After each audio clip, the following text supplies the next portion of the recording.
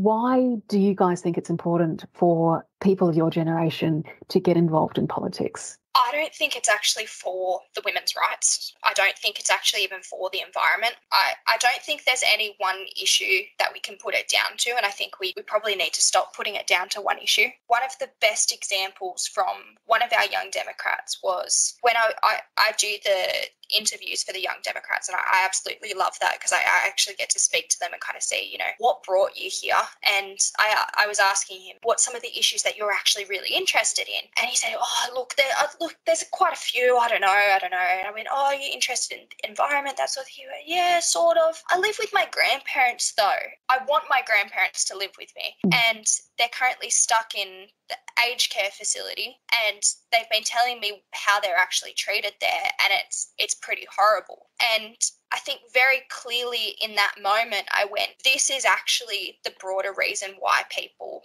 of our age are interested. Not just because it's a young person's in- issue and we're interested about our future, but because we actually have a different perspective to the same issues that every single Australian is dealing with. It's just a different it's just a different viewpoint. The aged care you're looking at that that that's your grandparents and you care about what the end of their life looks like for them. Not because you're going to end up there. I don't even think we're thinking of it at that point, but it doesn't mean that you don't care about that and how that does actually impact on someone you love.